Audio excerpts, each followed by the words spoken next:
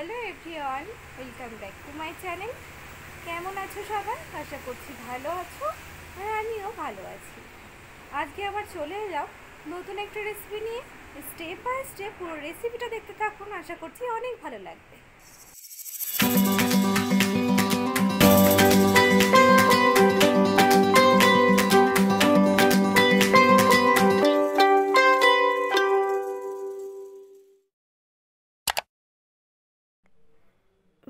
ভাজার জন্য এখানে নিয়ে নিয়েছি কচি কচি দেখে বেগুন। একটু কচি হলে বেগুনটা খেতে কিন্তু ভাজা বেশ ভালো লাগে, তরকারি, ভাজা সব কিছুর জন্যই। তো এখানে বেগুনটা আমি গোটা অবস্থায় খুব ভালো করে ধুয়ে নিয়েছি। এবার বেগুনটাকে পিস পিস করে কেটে নেব। তো এখানে বেগুনটা কেটে নিয়েছি। এই বেগুন ভাজাটা কিন্তু আমি প্রমাণসহ এই বেগুনটা আপনাদের সামনেই দেখিয়ে দেব যে তেল ছাড়াই বেগুন আমি ভেজে আপনাদেরকে দেখাবো। তো প্রথম থেকে শেষ পর্যন্ত আমার ভিডিওটা দেখতে থাকুন এবং তেল ছাড়া টেস্টি হবে যেমন আপনারা খান তেমনই।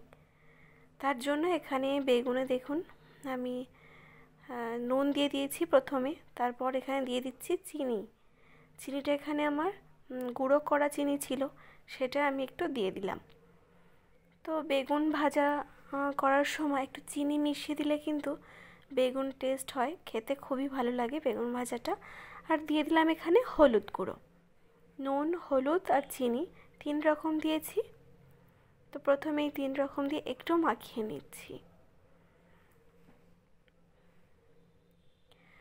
সব বেগুনের গায়ে ঠিকঠাকভাবে যেন লাগে, তার জন্য হাতের সাহায্যে এভাবে বেশ ভালো করে আমি প্রত্যেকটা বেগুন আমি ভালোভাবে নুন, হলুদ মাখিয়ে নিচ্ছি। তো আপনারাও যারা চিনি দেন বেগুন ভাজার মধ্যে চিনি দাওনি কখনো, তো অবশ্যই সামান্য চিনি, বেশি দেবে না। খুব অল্প, সামান্য দিলে কিন্তু বেগুন ভাজাটা খেতে খুবই ভালো হয়। নুন, হলুদ দিয়ে মাখানো হয়ে গেছে। এবার দেখুন, শুকনো লঙ্কার গুঁড়ো আমি একটু দিয়ে দিলাম। তো এখানে খুব বেশি দেইনি, মিডিয়াম দিয়ে দিয়েছি। তো প্রত্যেকটা বেগুনের গায়ে একটু লঙ্কার গুঁড়োটাও আমি খুব ভালোভাবে মাখিয়ে নিচ্ছি।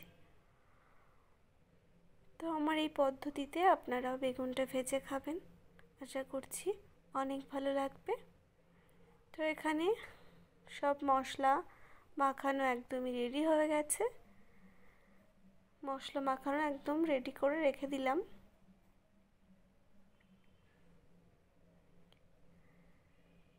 এবার নিয়ে নেব চালের গুঁড়ো। তো এখানে একদম মিহি চালের গুঁড়োটা, খুবই মিহি, ময়দার মতো কোনো দানা দানা নেই। তো আপনারা চাইলে এখানে একটু বেসন অ্যাড করে দিতে পারেন। যেহেতু এখানে আমার কাছে বেসনটা ছিল না, তাই শুধুমাত্র চালের গুঁড়োটা দিয়ে আমি বানিয়েছি। তো দেখুন, প্রত্যেকটা বেগুনের গায়ে এভাবেই কিন্তু মাখিয়ে নেবেন। আপনাদের কাছে বেসন থাকলে চালের গুঁড়োর সাথে একটু বেসন মিশিয়ে এই সেমভাবে, এইভাবে বেগুনের গায়ে মাখিয়ে মাখিয়ে একটা সাইড করে রাখবেন। আগে মাখিয়ে নিলে ভাজার সময় সুবিধা হয়। তাই সব প্রত্যেকটা বেগুনের গায়ে এইভাবে চালের গুঁড়োটা আমি মাখিয়ে নিচ্ছি। এই বেসন বা চালের গুঁড়ো একটু মাখিয়ে নিলে যেটা হয়, বেগুনটা কিন্তু অনেকটা সময় মুচমুচে থাকে। টেস্ট একই থাকবে, কিন্তু বেগুনটা কিন্তু নরম হয়ে যায় না। অনেক সময় নর্মালি যখন আমরা বেগুনটা ভাজি, তখন কিন্তু নরম হয়ে যায়। বেগুনটা যখন ঠান্ডা হয়ে যায়, কিন্তু এই বেগুন ভাজার পর দীর্ঘ সময় একই রকম মুচমুচে থাকবে। দীর্ঘ সময়। নরম হবে না। হ্যাঁ তো আমার এই পদ্ধতিতে যদি আপনারা বেগুনটা ভাজেন।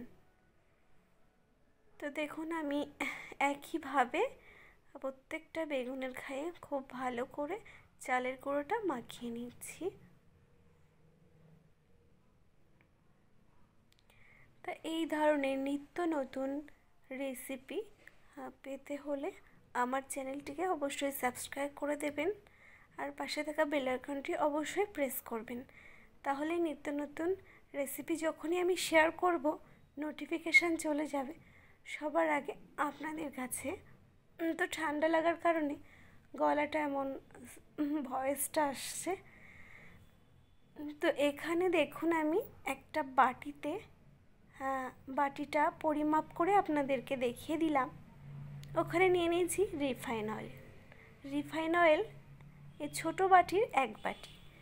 তো বেগুন, এতটা বেগুন ভাজার পরে এই বাটিটা আবার আপনাদেরকে আপনাদের সামনেই দেখাবো যে কতটা তেল আমার খরচ হলো।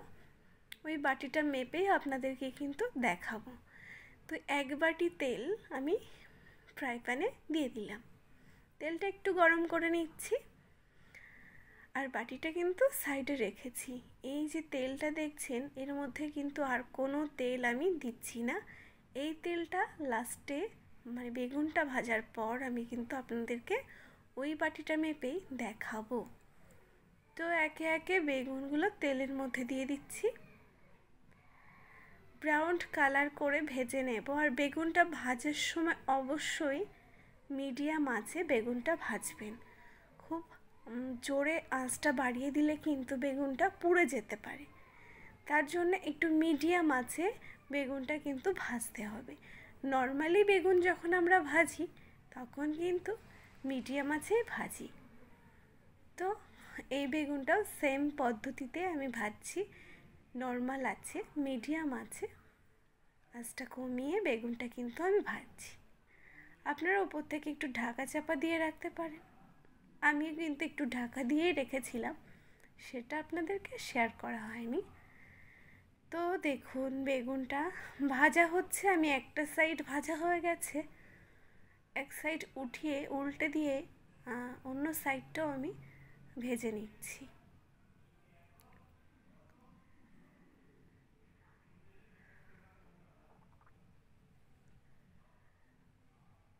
বেগুন ভাজা কিন্তু কম বেশি আমাদের সকলেরই খুবই প্রিয়। যারা নিরামিষ খান তাদের তো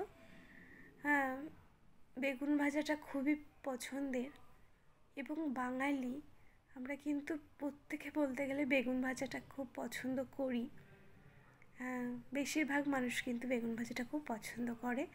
এবার তেলের তো এখানে আমার বেগুনটা সব বেগুন আমার ভাজা হয়ে গেছে। প্রত্যেকটা বেগুন আমি উঠিয়ে নিয়েছি ভাজার পর। এবার দেখুন ওই বাটিটায় আপনাদেরকে দেখালাম। তো সেই সেম বাটিটা বাটিতে আমি তেলটা ঢেলে আপনাদেরকে দেখাবো যে আমি কতটা তেলে বেগুন ভাজলাম। তো আমরা যারা অনেক সময় ডায়েট করি বা অনেক প্রবলেমের জন্য তেল যাতে আমাদের শরীরে না যায়, তার জন্য কিন্তু আমরা বেগুন ভাজাটাকে অ্যাভয়েড করি। কিন্তু আমার এই পদ্ধতিতে বেগুন ভাজলে আপনারা খেতে পারবেন। কোনো চিন্তা নেই, অতিরিক্ত তেল আপনাদের খেতে হবে না। দেখুন, এখানে হাফ বাটি, এক বাটির হাফ বাটি কিন্তু আমার অতগুলো বেগুন ভাজতে লেগেছে আর হাফ বাটি আমার আছে। তো আমি আপনাদেরকে দেখিয়ে দিলাম যে আমি কতটা তেলে এতগুলো বেগুন আমি ভাজলাম। আর বেগুন ভাজার সাথে শুকনো লঙ্কা কিন্তু আমরা অনেকেই খুব পছন্দ করি। তো কয়েকটা শুকনো লঙ্কা আমি ভেজে নিয়েছি। তো আমার বেগুন ভাজাটা দেখুন কতটা মানে একদম তেল তেলে একদমই নেই। সেটা আপনাদেরকে একটু দেখানোর চেষ্টা করছিলাম যে দেখেই মনে হচ্ছে এতটা তেলে ভাজলাম। অথচ দেখুন, বেগুনের গায়ে কিন্তু এতটা তেল নেই, প্লেটেও কোনো তেল লেগে নেই। দেখুন, আমি দেখিয়ে দিচ্ছি আপনাদেরকে। তো এইভাবে ভাজলে কিন্তু একদমই নিশ্চিন্তে বেগুন ভাজা খেতে পারবেন। তো আমার এই রেসিপিটা কেমন লাগল অবশ্যই কমেন্ট বক্সে জানাবেন। আর ভালো লাগলে প্রচুর প্রচুর শেয়ার করবেন। সবাই ভালো থাকবেন।